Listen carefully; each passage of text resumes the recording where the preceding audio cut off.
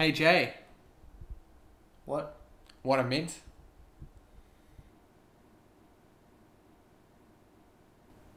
Yeah, sure, mate.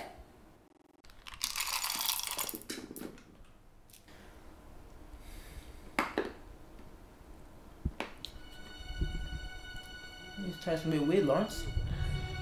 That's because they're not mints. They're pingers.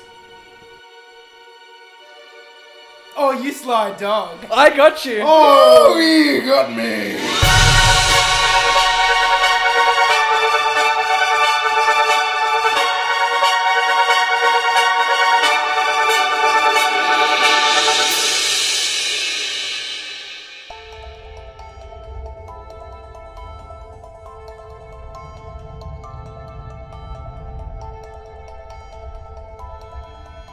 An underwater vehicle shooter packed with submarine battles isn't the genre of game you see getting published every day.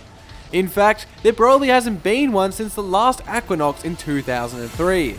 And so, it's rather apt time that Aquanox bubble back up to the surface. With this new installment in the series, Deep Descent, there are three things that really appeal. First, the action evolves on the original. A variety of weapons like torps and mines is paired with deep sea pressure and currents that affect vehicle handling. Secondly, the world is rich and so much affects it. There's a layered ecosystem, characters whose personal problems affect the narrative, and political and economic consequences for this dystopia under the sea. Lastly, multiplayer presents many options, including drop-in co-op. If you like water and guns and vehicles, chances are you'll like Aquanox. They're gonna try to turn. Oh, oh, they went for that ram. Oh, the son of a bitch. Ooh! Oh God! Holy shit! Oh my God! I'm on a boat. It's pure chaos and its name is Blackwake. It's a team-based FPS, set amidst 18th century naval battles. This requires a lot of cooperation. Not only do you have to gun down the enemy ship, but also keep yours afloat. This means roles. Jobs include pumping water out of the ship, putting out fires, repairing sails, and loading the cannons. But as much as this may seem like a game that needs perfect team harmony, it can also lend itself to stupidly crazy situations. If sabotage may tempt anyone, there's the always solid option of whacking a teammate's skull off with a cannonball. Blackwake. It's the guns of Icarus of the sea.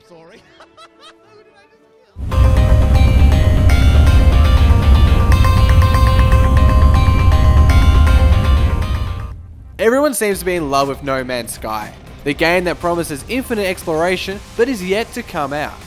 We raise this because on first inspection, Everspace looks like it has been highly influenced by No Man's Sky. The cockpit view, open space, and roguelike elements are all eerily similar. However, to be fair to developers Rockfish Games, they've been making the popular mobile series Galaxy on Fire for the last few years. Everspace is their chance to bring their game onto PC and possibly other traditional platforms. The pitch is intuitive action and non-linear storytelling wrapped up in gorgeous graphics. What we really like is that you can customize the look and improve the starting abilities of your ship before every new run.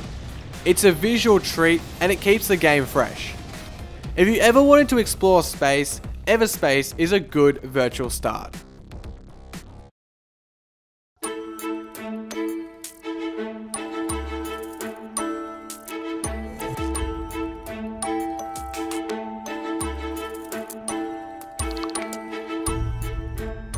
Eco is Minecraft with a greater environmental and community conscious. Players inhabit a world together. As a group, they must survive and aim to build a civilization. This includes the building of cities and player run governments and economic systems.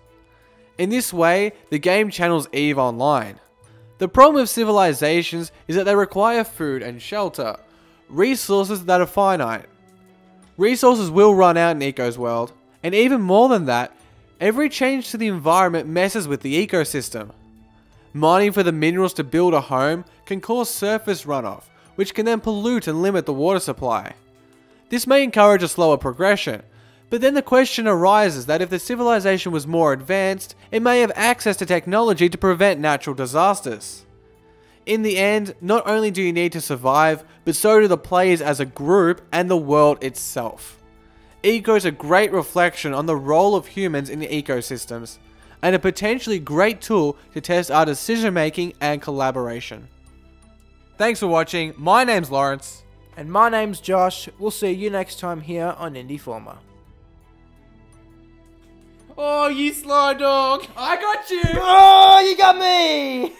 Oh, you sly dog. I got you! Oh, you got me! Oh, you got me. No, don't do that, don't do that, Josh. Don't do that. Oh! oh! What has happened? I, I bit that shit, man. Oh, you got me. Oh, you got me! Oh, you got me!